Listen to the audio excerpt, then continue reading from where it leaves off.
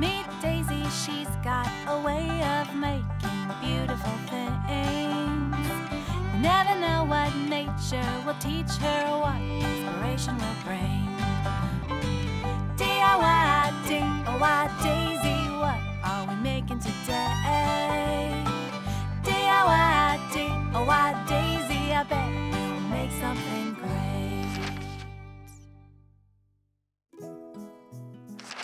Hello, Gumboot kids. Hi, Daisy. I went for a walk around the park and I found some lovely pine cones. They inspired me to make a nature craft. Would you like to make some pine cone Christmas trees with me, Gumboot kids? Yay! Step one head outside and find some conifer cones. Found some. You can find them under a pine, spruce, or fir tree. I found a big pine cone under this tree. Are there enough for me to have one too? Absolutely. Only take a little and only take what's abundant. Perfect! Okay, Gumboot kids, step two.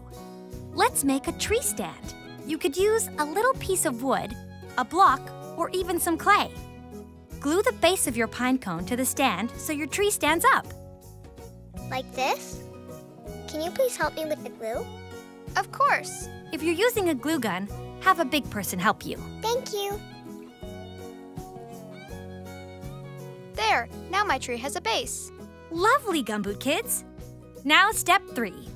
Gather some supplies like little pom poms, beads, sequins, anything you'd like to decorate your little tree with. Glue these pieces onto your tree. Decorate your tree any way you'd like. I like these pom poms. I love red and green together. I'm gonna use sparkles. Can you please pass the sequins? I love making nature crafts.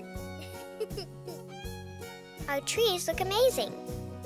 Ooh, these are looking great, Gumboot kids. Let's see what you've made.